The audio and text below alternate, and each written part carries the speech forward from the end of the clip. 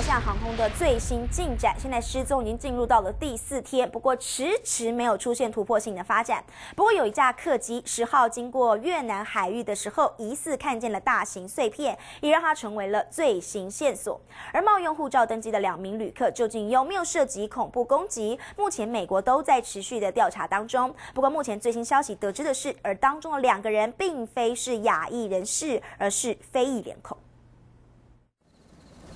国际间持续大范围海空联合搜索失踪的马航客机，但先前传出的可疑油渍化验确定并非客机燃油，而是船只所用的疑似救生筏的漂流物，只是电缆滚筒。疑似机舱门的物品也没有打捞到。不过又传出一架国泰航空客机十号经过越南南部的时候，在海中看到大型碎片，随即通报，但还需要派船到现场了解情况，因为天色已经昏暗，最快今天稍后才会有结果。在另一方面，马国官方澄清了冒用意大利和奥地利人士失窃护照登机的两名男子都并非亚裔面孔，而经过调查又发现两人都是由伊朗人透过泰国旅行社购买机票，让情况更加错综复杂。The two tickets that were purchased uh, using these stolen passports, who were stolen in Thailand, the tickets were pur pur purchased in Thailand.